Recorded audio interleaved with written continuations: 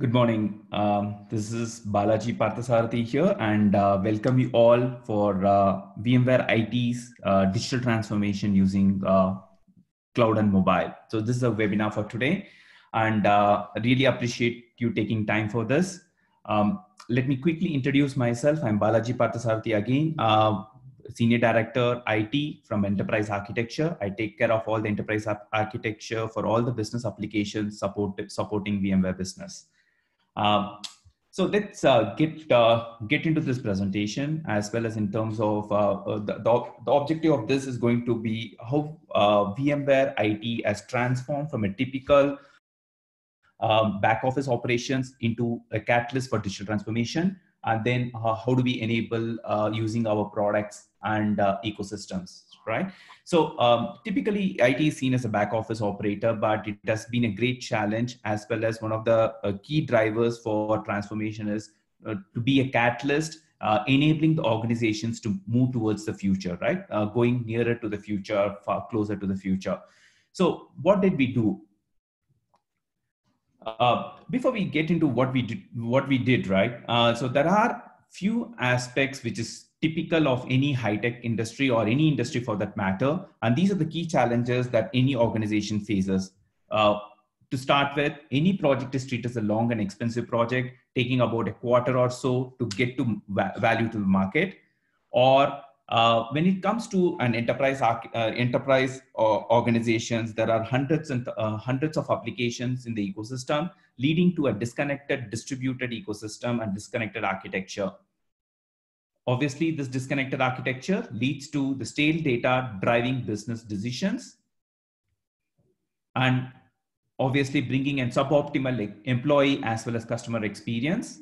And obviously everything becomes in back office orientation. That's basically if you have to drive certain value to the market, it's based on how back office or what we call the business uh, applications can deliver those value to the business, right? So it's basically, it's always long drawn in, in long drawn projects and initiatives. So let's talk about what we, uh, uh, what we did and what transformation has been brought in in each of these areas. So when it comes to a long and expensive project, uh, uh, project constructs, it's all because of the way that we are organized, right?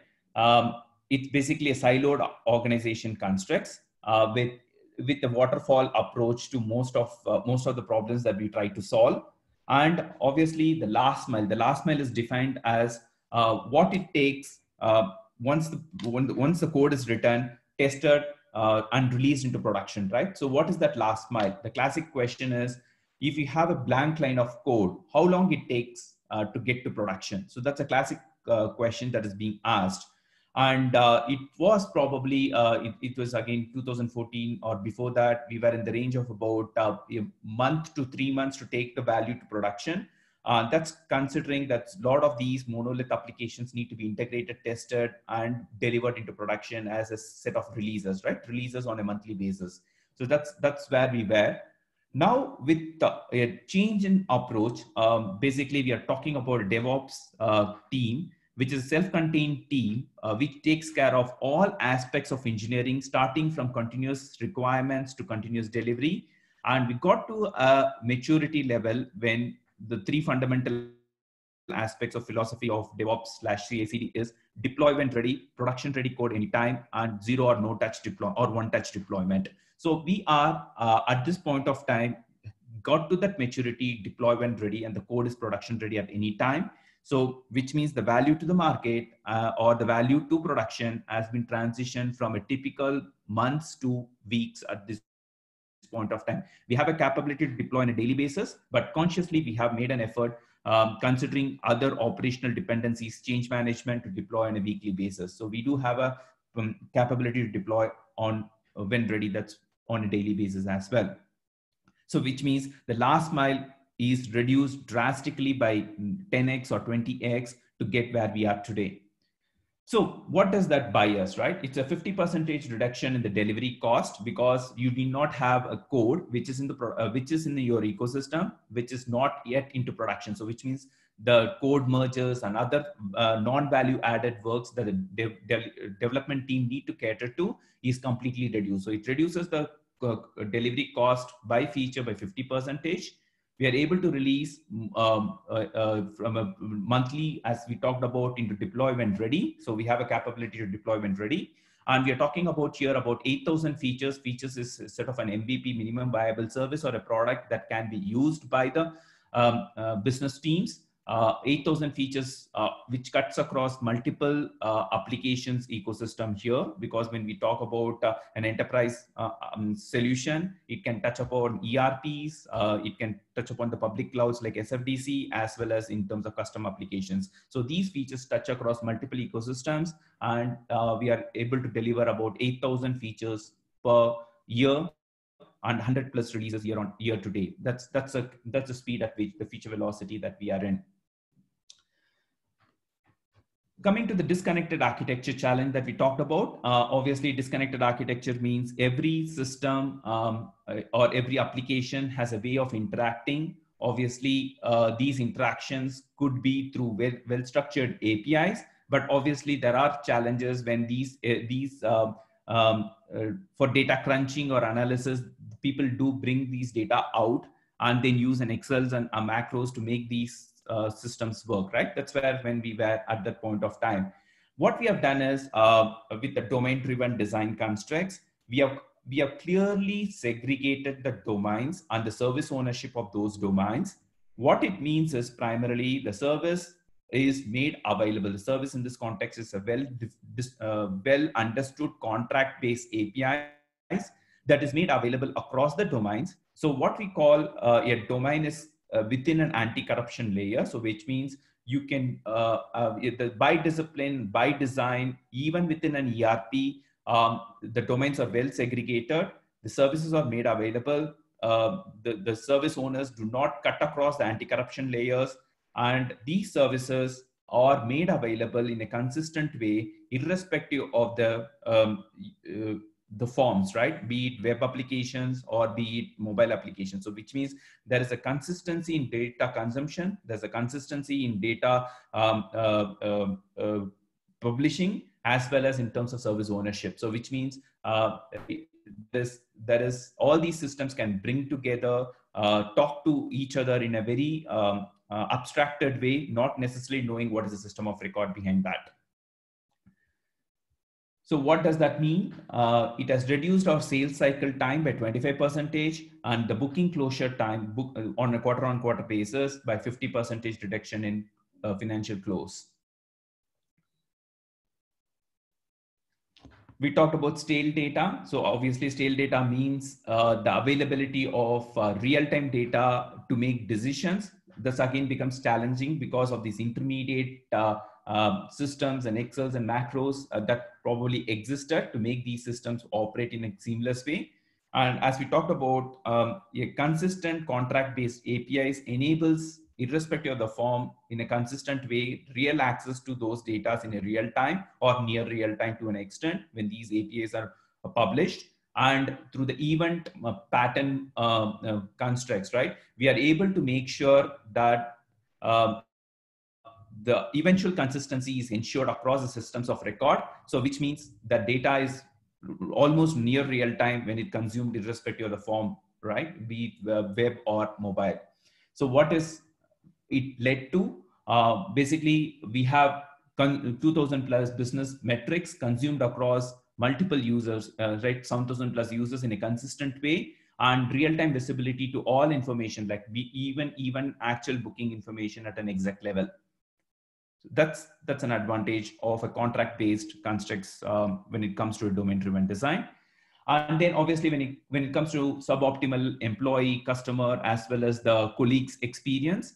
So we were able to bring in through this API model, uh, irrespective of the system of record, a sing single experience layer where we can get all the, uh, all the application approvals, be it uh, um, hiring approval, be it uh, procurement approval, be it approval with respect to some of the uh, transactional informations, order approvals, right? Everything is brought into a single uh, um, persona-driven aspects on a mobile application. So which means the access, the form remaining the same. The people did not bother about, at least at an exec level or a manager and exec level, need not bother about the system of record logging in. So the experience is um, uh, great.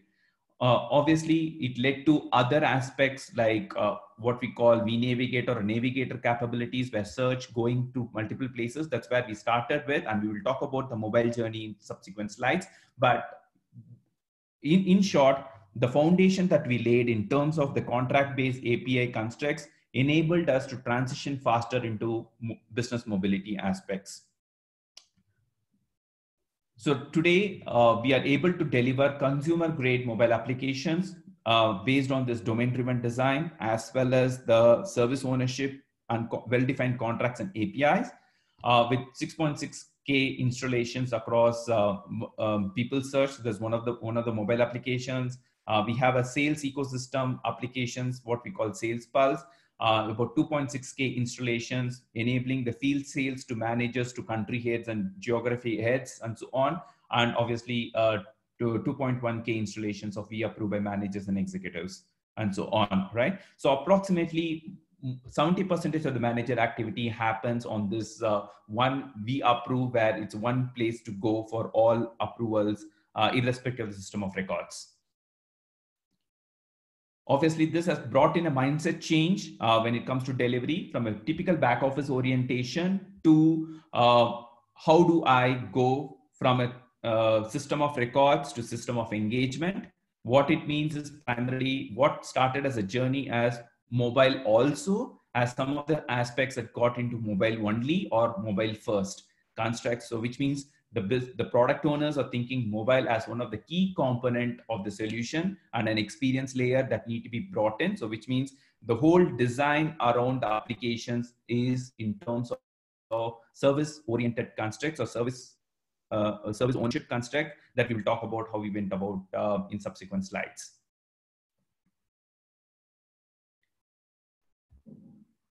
Right? So um, that's a quick background in terms of what value that it's brought in. And uh, any of these transformation, right? This digital transformation uh, has, as everyone knows, there are three aspects to it, the process, technology, and people. And uh, typically what happens is uh, the process and technology is easy to adopt because always people are hungry or the, the team is hungry to experiment.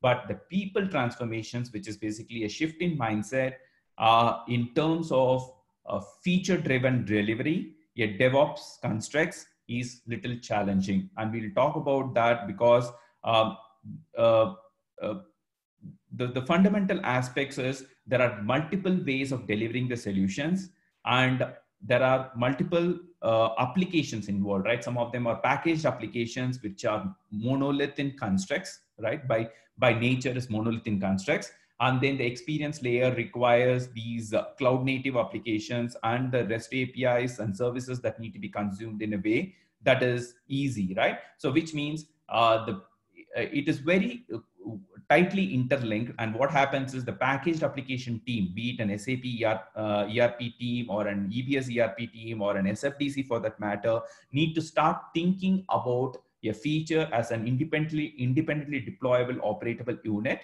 and start delivering those service ownership uh, services and with this clear service ownership so that any consumer can consume right? So uh, in addition to that the devops constructs of uh, not getting into the trap of bimodal it right? Saying that the finance ecosystem can go slower than in the um, uh, the cloud native applications because they need to be faster. But really reality is it's quite interlinked and everyone need to go at the same phase. So the mindset that we need to what we brought in is it doesn't matter. We don't get into the bimodal IT trap, uh, but uh, we will. Um, yeah, everyone has their own speed and maturity at which they need to move forward, but adhering to the macro metrics and the macro um, cultural ecosystem uh, the macro metrics being the feature velocity on which they will be measured, uh, the cost of quality on which they will be measured, as well as in terms of uh, um, uh, deploy when ready. That is basically ability to deploy the code when ready, irrespective of the ERP or uh, um, it is the it's a front end application. So so what it translates to is the three fundamental aspects of philosophy is deploy when ready, production ready code anytime, and one touch deployment applies to both back office, real back office like a financial system or a cloud native application as well.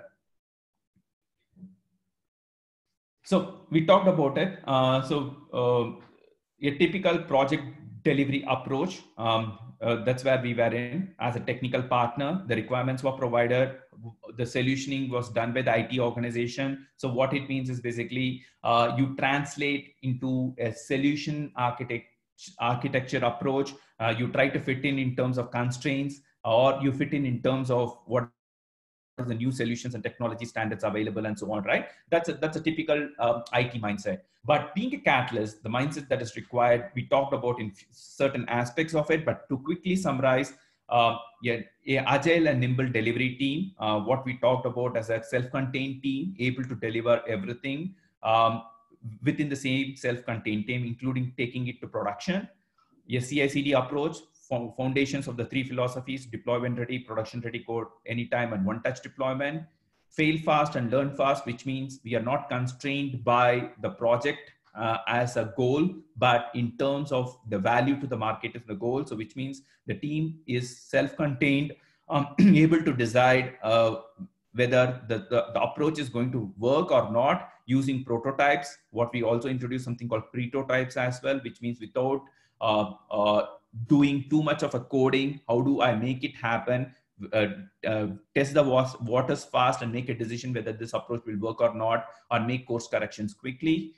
Mobility uh, business mobility in that case moved from a, a typical uh, mobile also to the mobile first or mobile only uh, constructs. And obviously we didn't boil the ocean here. We are taking a philosophical stand of what is uh, mobile key mobile moments which is important to the customer or rather the business group and colleagues and that's where uh, we will be investing. So it's not boiling the ocean trying to translate every application capabilities into mobility.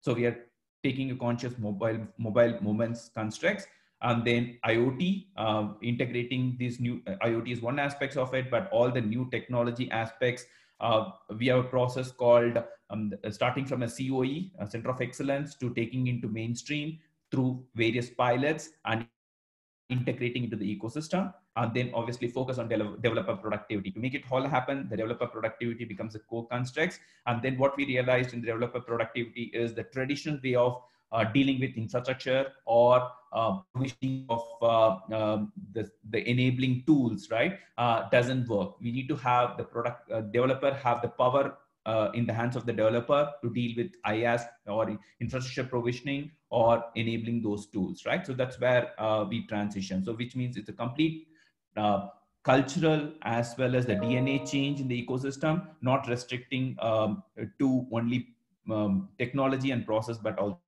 in the people mindset.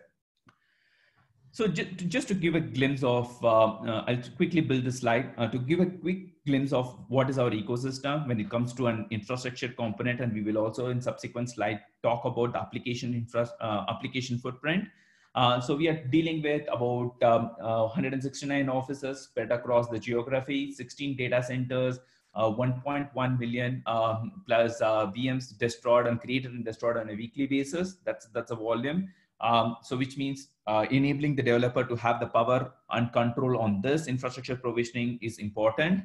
Uh, dealing with about one, plus, one, 1 million plus containers, um, uh, talking about uh, production applications in VMware Cloud. Uh, uh, that's one of the few things that we transition. We are talking about an 18 plus clouds, in, sorry, 18 plus applications enabled on a multi-cloud or a hybrid cloud constructs um, on VMC on AWS. We'll talk about it subsequently, which means it enables us to deal with uh, uh, disaster recovery, uh, uh, sorry, disaster recovery in an easy and seamless way for 18 plus critical applications. Um, and then we are talking about uh, um, uh, the micro segmentations for, for all our services and applications, right? We are talking about 69 applications, which are critical applications, well micro segmented using NSX.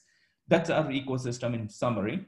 So, um, uh, so considering this ecosystem, right, the transition has been, as I said, little uh, uh, challenging, challenging purely from not from a technology or a process standpoint, but obviously we are an ecosystem where 2000 plus developers are involved, right? And uh, uh, if the objective is to give the power in the hands of the developers, and enable a culture of developer productivity then there are there are we took a logical step by step process right the first step is making sure the instance is stabilized so when we say 2000 plus developers, we are talking about, a dev test environment being accessed by 2000 plus developers. So any one day, if the dev test goes down, right, um, you can imagine the cost involved, uh, the loss of, uh, uh, um, uh, uh um, in terms of the cost, as well as in terms of productivity. So one of the fundamental things is bringing it to 99.95 uh, percentage uptime equal to production, production workload. The second one is in terms of enabling the developers to provision those instances automatically, the IaaS instances automatically uh, using um, enabling tools. And then we are talking about a business agility using CI/CD, where we will be able to take the uh, code um, on a weekly basis, right, or even on a daily basis. So these are the three-step approach that we took um, before we get to to where we are today. And uh, when it comes to a cloud native platform journey, uh, the proof of concept started in 2014. Uh, non-critical workloads uh, started transitioning in 2015, in, especially starting with the LAMP stack.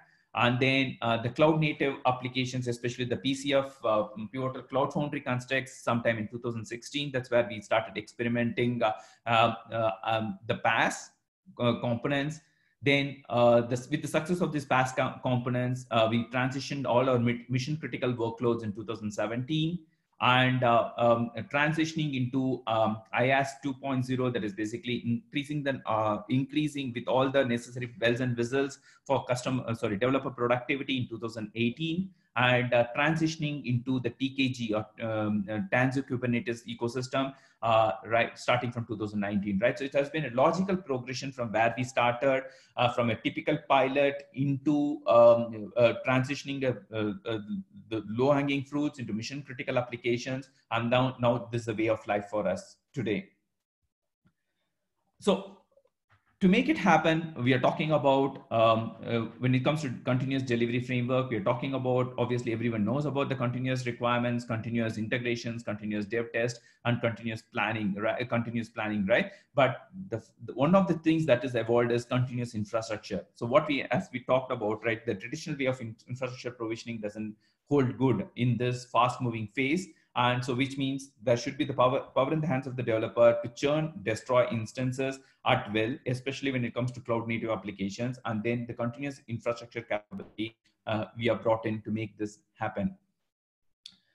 So um, in summary, we are talking about an architecture which is cloud native, enabled through standardization and platform standardization using uh, uh, Tanzu uh, family of uh, products uh, T, uh, TAS, which is starting with the PCF, and then the uh, uh, TKG, uh, Tanzu Kubernetes Grid. That's what we are making sure it's a developer ready infrastructure made available. And then automations uh, for all the necessary CI, CD, and delivery aspects of it for the day one and day two from an operation standpoint, right?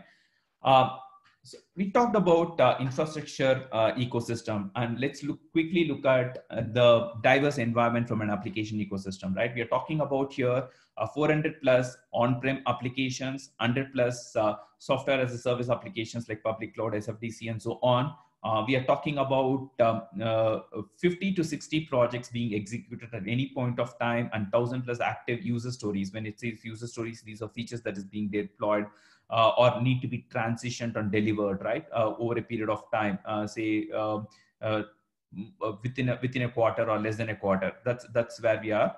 And a feature based delivery. So we are uh, we are transitioned ourselves into a feature based delivery we talked about which is an independently deployable operatable feature that gets to um, production and we are talking about 60 plus tech stacks um, uh, to deal with right it varied from um, ERPs. There are multiple two uh, ERPs in our ecosystem, uh, Oracle EBS as well as SAP.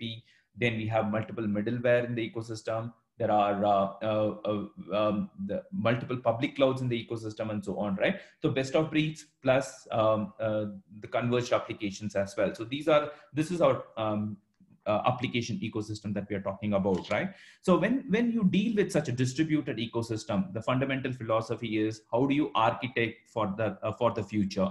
So there are two ways of looking at and it has it's nothing new it is it was put in by Mel, uh, melvin conway as early as 1967 he did an experiment according to his experiment which he did on cobol um, he asked a team to uh, develop a compilers right? So he distributed the team into four four sets of team and then you can imagine the outcome is four pass compiler the four stage compilers that was evolved so this philosophy is the organization's architecture and designs are driven by how, what are the communication structures within the organization. And if there are four teams dealing with it, you will end up into four different stages or steps involved. And that's what the typical uh, traditional layered architecture is all about, right? The traditional layered architecture is we have a user experience team, then we have a portal team or uh, the front end team then we have the middleware team then we have the, uh, the uh, back uh, back end team right? So when what happens typically is when you need to deliver a project you need to bring all these team and all these technology skill sets together to deliver a project right? So the objective of a devops culture is start working through right this philosophy and work on the inverse conway's maneuver maneuver. What does that mean is basically start constructing your teams as domain organizations right mm-hmm. so uh, when we said domain organizations we said okay these sales is a domain marketing is a domain right um, and then finance is a domain payments is a domain subscriptions is a domain right uh, so once you start having the domain teams then enable them to be a full stack delivery organization. So we started with a rudimentary full stack org- delivery organization constructors. Every developer need to know one stack up and one stack down, right?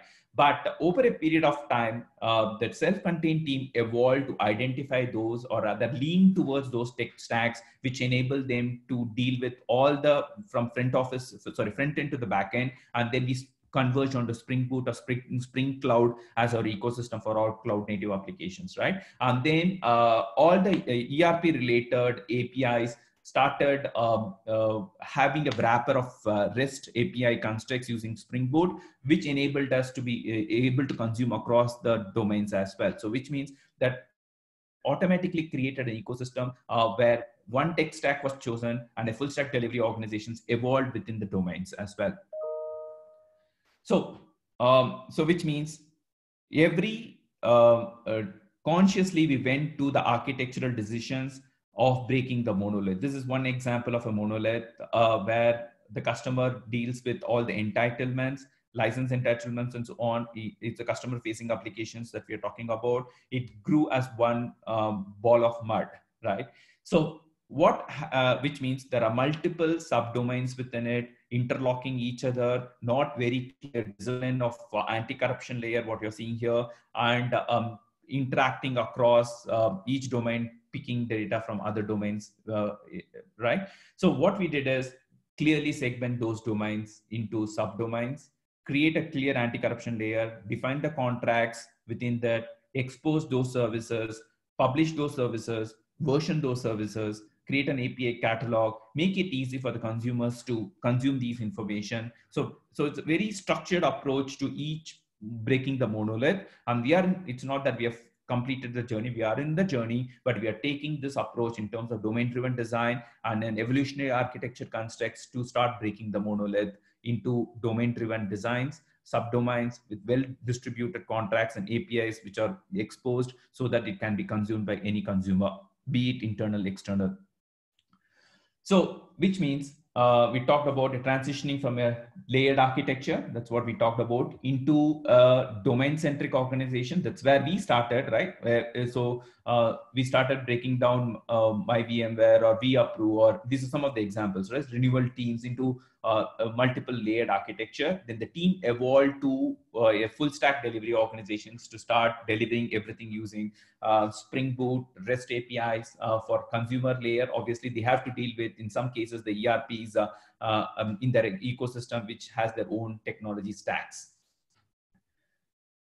So, so what has happened in this whole process is when the developer who need to bother in an uh, in a traditional structure across every aspects in terms of okay what does it mean for performance tuning? What i need to deal with uh, uh, with respect to code uh, uh, performance and so on right? For to yeah pass situation right? We are at this state where the developer need not really bother about the underlying ecosystem because that's taken care using uh, Tanzu ecosystem for us and the uh, constructs that we have. And really the developer focuses on the core value that he delivers, basically data function and application right? So which means obviously when I said there's a reduction in 50 percentage cost on feature delivery and the feature velocity has gone about 20x uh, time, that's purely because the developer needs to focus on delivering the value component, which is application function and data, not really bothering about uh, the other underlying stacks. So what is our journey? We started with, uh, uh, if you look at our e ecosystem, we are talking about 25% of the ecosystem are custom applications. And out of this, when we started our journey, most of them were monolith in nature. And uh, we have transitioned into the stage two, where it's a coarse grain services we are dealing with. That's obviously because of the challenge saying that there are shared databases um, when it comes to ERP and other applications we may or may not get into 100% microservices construct with uh, the with in exclusive uh, data stores but probably we'll be in mid, midway between these two. That's where we see. But at least the services um, are uh, transitioned and exposed as contracts and in a very microservices constructs which means the service component is independently deployable operatable so it can be working right? Um, so it obviously brought in a change in the mindset of the developers that um, the traditional approaches, infrastructure supports um, application availability. So, which means anything um, to de- to make sure the infra- application is available 99.95 um, percentage. I need to work backwards, make the infrastructure equally stable. Right now, it has gone to uh, philosophy change that application uh, need to deal with infrastructure non-availability. So, which means high availability constructs, uh, multi data centers, cross data center um, uh, uh, and seamless transition from one data center to another. So those things the application ecosystem should be able to take care. So which means from deployment into multi data centers and so on everything is redesigned. Architecturally we start thinking differently. So which means the evolution as we evolved in our digital transformation into cloud native um, architecture the ecosystem supporting that also evolved from uh, in, in, hand in hand. So we started with the Pivotal Cloud Foundry as a funda- foundational ecosystem or platform as a service for all our microservices or cloud native um, applications. Now we are transitioning into uh, the Kubernetes constructs. Uh, basically uh, there's also a maturity level involved because the P- uh, pcf had, was more prescriptive in nature and when you're dealing with the 2000 plus developers uh, it was easy for those uh, uh, um, pcf uh, constructs where it is quite prescriptive what we what each developer need to do and the pcf takes care of a lot of constructs. Kubernetes requires engineering maturity parallelly and with this maturity right now we are comfortable to get into the, um, the kubernetes constructs. But obviously there is there is a, lot of advantage getting there because it brings you a lot of flexibility. And we started uh, with uh, Concourse and BOSH based services uh, offered um, for all our cloud native deployments. And that's where we started. But right now we are using vRealize automation, uh, VR, VRCS uh, for all our uh, cloud native deployments as well, in addition to the traditional workloads. So, uh, which means we use extensive components of VMware and Pivotal ecosystem uh, to cater to our needs, including observability, includes uh, Tanzu observability by um, uh, uh, uh, Wavefront for all our platform uh, PaaS observabilities, and then vRealize operations and vRealize Log Insight for our application of, um, and uh, infrastructure um, uh, observability, right? And we are stitching these all together, what what we called event aggregator constructs, where uh, the correlations of these uh, would be visible uh, in a user experience layer for us to identify and solve problems. So, which means the two fundamental constructors in a cloud native constructs, we, we know about it, right? Uh, mean time to resolve, mean time to identify or um, uh, triage, right? So this has come down drastically because we do follow the fail first con- uh, fail first construct, right? So with that approach, we, we should have a robust robust day two operations, and this has drastically come down with these observability.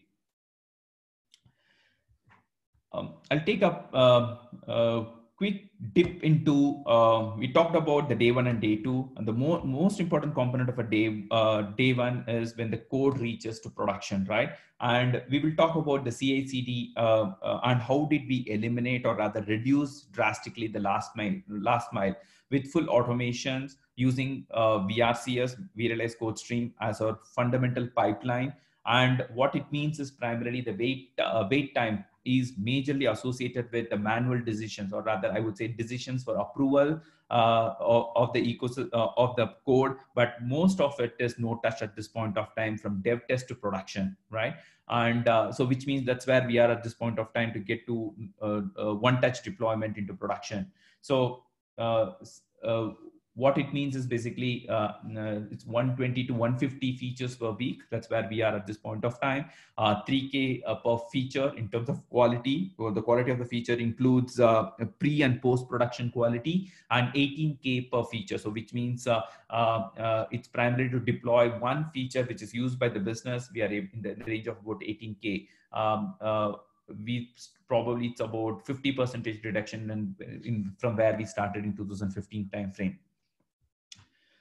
So uh, let's um, talk about quickly what does the CD pipeline means and then what does instance uh, um, uh, optimization mean in this context, right? Uh, so there are two fundamental problem statements here. One is basically proliferation of instances. And in our ecosystem, when we talk about instances, we're talking about 100 plus uh, uh, or actually 400 plus applications stitched together. So which means you can imagine the cost that we need to pay for every instances uh, that we procure from any of these vendors like SFDC and uh, obviously on-prem cost and so on, right?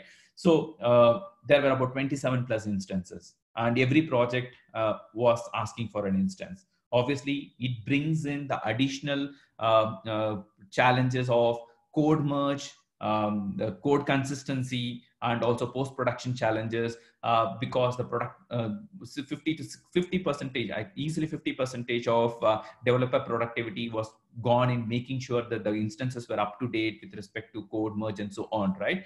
So what we did is uh, we optimized that instances irrespective of the project all project we are talking about 60 plus project going in parallel goes through a single instance path with the trunk based um, uh, uh, at least I, it's not a perfect trunk based i would say but it's a trunk based um, uh, um, uh, constructs uh, with respect to um, um, branching and so on and the, whole thing how it works is primarily we have the development dev instance where the code is being worked upon. Dev instance in some cases is also on the on the laptop of the uh, in case of cloud native and some some of the constructs of the developer. But at the end of that development lifecycle, they check they check in the code um, and then the code gets deployed and integrated in the dev instances. And then uh, after that, it, it, it propagates into CI instance, continuous integration instance, where there is an automation test suite that makes sure the build doesn't fail the fundamental aspects of the uh, CI instances, when the code propagates to the CD instance or what we call test instance, the high availability of test is ensured because we are going to talk about the business team, um, multiple QA teams operating on it, right? So the high availability, as long as the build is stable, it's fine. Feature may or may not work, right? Uh, the feature testing is in the test instance. Now, uh, uh, if there are challenges uh, uh in the uh, um, in the CI instance, the development team is expected to re rechange that code and redeploy it, right? So there are thrice a deployment per day happens. And then the test is made sure with a 60 to 70 percentage in sprint automation uh, to make sure that the code is working as per the expectations and the feature um, feature is delivered. And then on need basis, we go to the performance instance, um, uh, which is equal to production for all purposes, or directly take it to test to production. So which means when you decide the future, you also decide the NFRs uh, in terms of performance requirements and so on, right? So it's very structured approach starting from a feature um, uh, requirements gathering or feature requirement delivery, which is in, uh, start thinking about as an independently deployable operatable constructs and the way that transitions across multiple instances, uh, rather five to six instances in total. So which means millions of dollars cut down on instance optimization and about for 50 percentage productivity of the developers uh, are focused on feature delivery rather than making sure the instances are stable and just a glimpse of uh, what does each of these uh, um, uh, stages involve uh, from a dev continuous integrations, UAT, and production. This is well phase gated pipeline on VRCS that we have delivered. And uh, these phase gates obviously use is, quite a number of tools associated with it to bring together uh, this one. But at, at the end of the day, they'll make sure that the code is stable. Um, uh, CA make sure that the code is stable and doesn't it's ready for in the test instance. It doesn't break anything. The build doesn't break. In addition to static code analysis and other security scans that happens, um, so which means the DevSecOps, we are matured into the DevSecOps being bringing sec into the uh, uh, development lifecycle itself. And then the UAT stage where uh, most of the integration testing uh, feature testing uh, happens before it gets to production. Obviously, the, um, performance testing happens in uh, LT instance. I think we talked about this. This is a representation in other form. Uh, so obviously, this brings in uh, various dimensions of uh, how we take the code, right?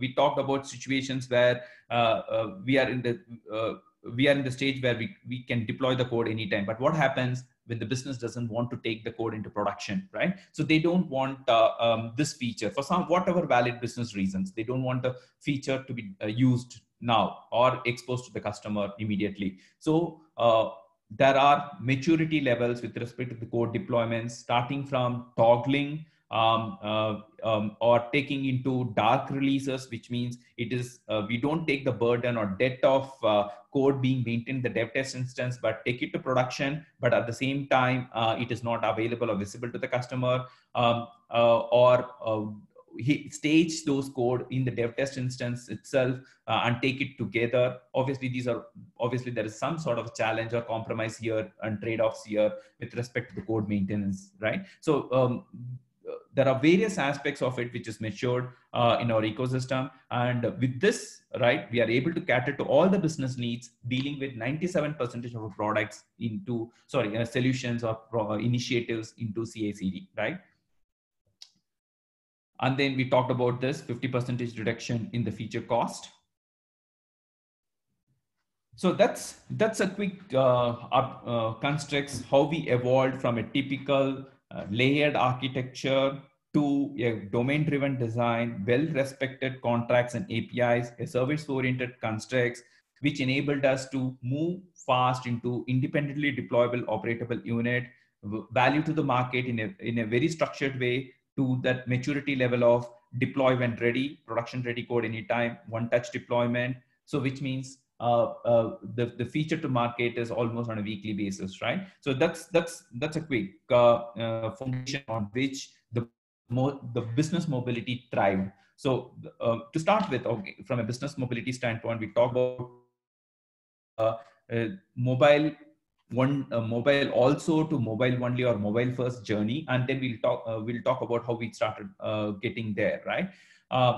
It started with a typical traditional way of looking at mobile solutions as a responsive web API, uh, webs uh, made, available on your mobile. But we quickly realized that does, that doesn't cut the cake.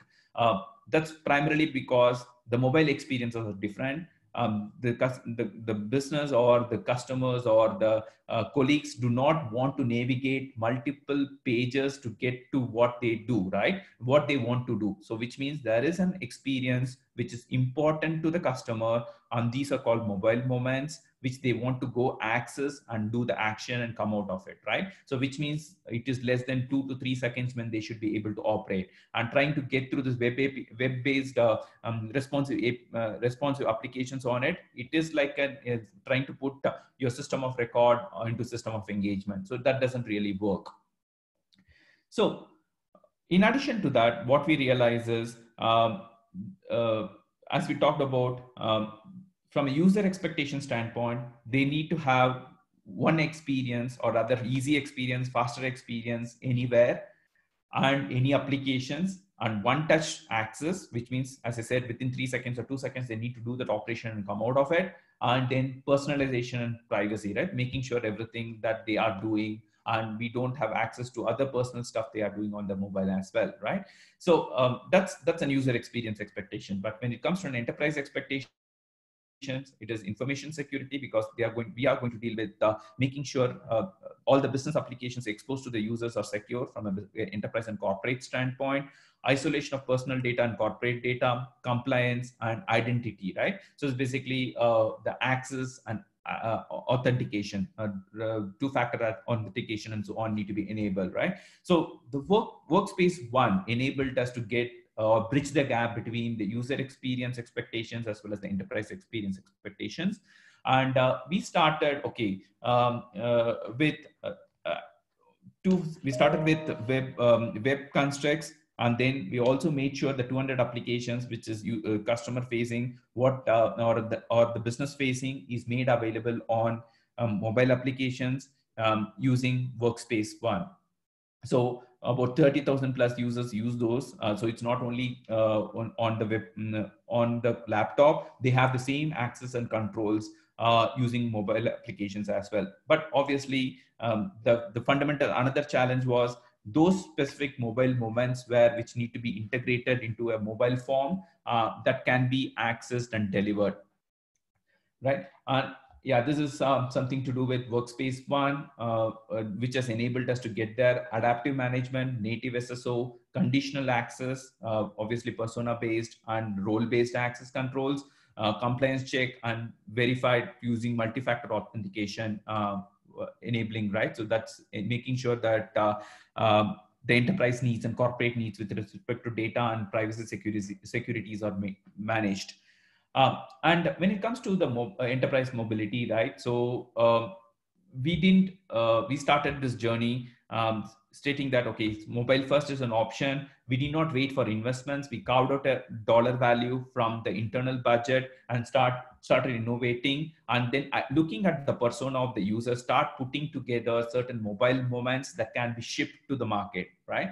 So like, like, like it started with basic vApprove or rather approval where the, the manager need to go to multiple system of records to approve or the people search constructs where you need to have access to a specific set of people know more about the person because if i want to do some sort of a swarming i need to know uh, the support person who, who is dealing with the case and uh, with that customer uh, i need to deal with uh, uh, uh who is the r&d person and so on right so we try to bring everything together so we identify those specific mobile moments and then started innovating on it started creating um, mobile applications and mvps and then started releasing those on um, the application platforms, um, mobile application platforms, and it, it, was a great success. Then uh, obviously the foundation of this is our ability to deal with contract based uh, domain driven design constructs. And so which means irrespective of the form the experience was same.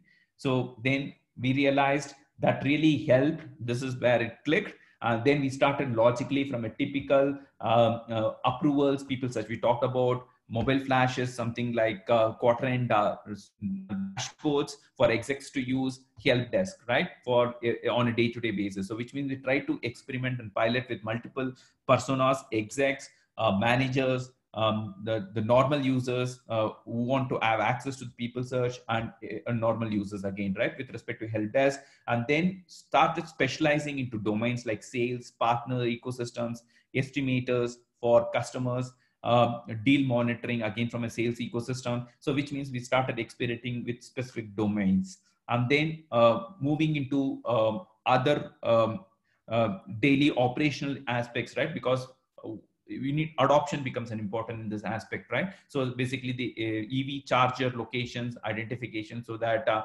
um, uh, the people can identify those locations and go. So which means these applications are adopted and they find that mobile uh, usage is the way to go, right? So we brought in an aspect of domain specific requirements, generic requirements, as well as um, operational requirements together to make this adoption easy in three waves.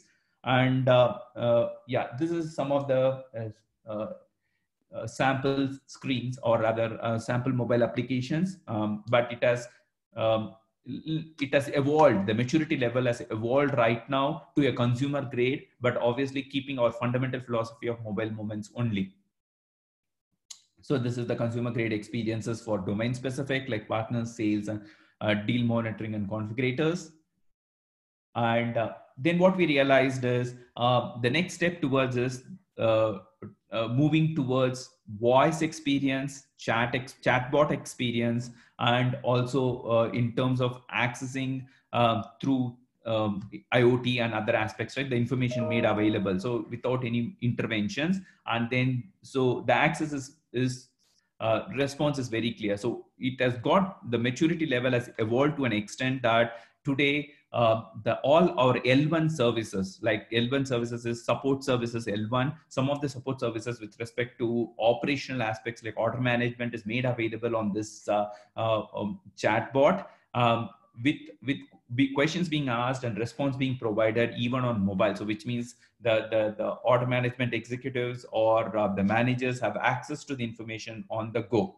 Uh, similarly for the sales ecosystem uh, as well as for partner ecosystem as well. So which means uh, we are transition, uh, it's, a, it's, a, logical transition from a typical um, uh, access to voice driven approach or a chat driven approach to solving your problems.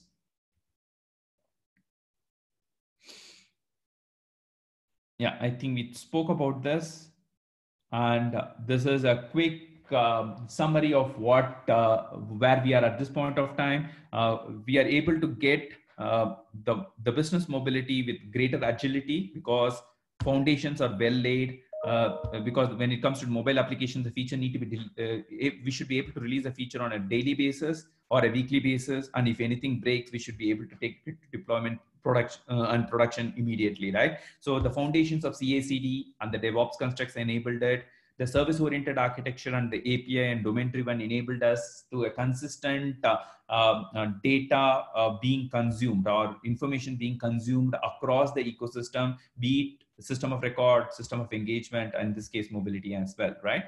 extensibility uh, uh, from a toolkit standpoint, what we have from vRealize, as well as uh, the DevOps culture into the mobile ecosystem. And we talk about continuous delivery, which is the, the foundation of our agility.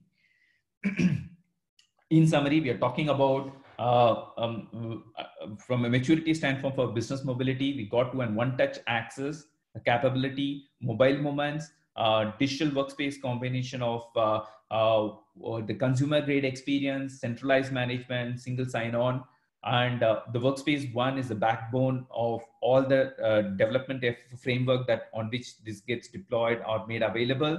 And we are talking about here currently 30 plus IT uh, developed uh, mobile moments and mobile applications made available to various uh, personas, in addition to what we have 200 plus applications on workspace one, right? The day-to-day transactions like workday and so on, where they can go into the details as well.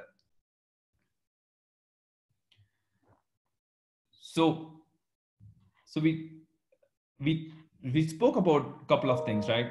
The digital transformation, the platform journey, then the mobile transformation, and then we have evolved into a well-structured ecosystem of CNA platform and transitioning logically into the Kubernetes constructs and TKG offerings, and then the path forward from the TAS to TKG as well in a very structured way. Uh, and the critical applications being deployed today in TAS platform or PCF platform, transitioning logically into TKG as well and uh, with uh, the other components like VRCS, uh, the vRealize Log Insight for observability, um, and so on, right? Coming, everything coming together to support what we call the CNA platform. The maturity of the CNA platform is so great.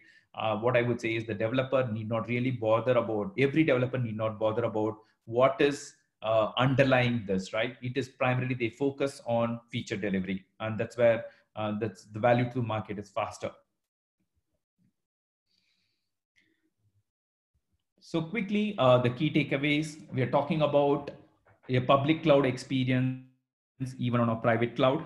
Um, so which means a 99.95 plus percentage availability for even for a dev test workload uh, and able to have a multi-cloud approach on our public uh, private cloud. So which means uh, the availability is high. There's the developer productivity is ensured we're talking about re-architecting the monolith applications through domain-driven design constructs and evolutionary architecture focused on contract and service oriented service ownership constructs so that it can be consistently consumed irrespective of the form. We did talk about uh, continuous security being embedded as part of the DevSecOps, uh, as part of the CI/CD process. And then we measure ourselves irrespective of the applications, be packaged applications or the cloud native applications on the key DevOps metrics. That is primarily um, uh, the feature velocity, cost of feature, and uh, no touch deployments, right? So uh, the maturity need to evolve for all these things in a consistent way. And we have a very well structured DevOps metrics. On when I say metrics, there are three components to it, the KPIs, then we have the metrics and measures. So there are well structured metrics and measures rolling up to the KPIs to enable us to measure in a consistent way, in the same way, irrespective of the tech stacks. That is important and then automation and tool chains enabling us to uh, get to these DevOps or meeting these KPIs in the DevOps metrics. So that's uh, a quick summary of what we talked about. And uh, good to take questions.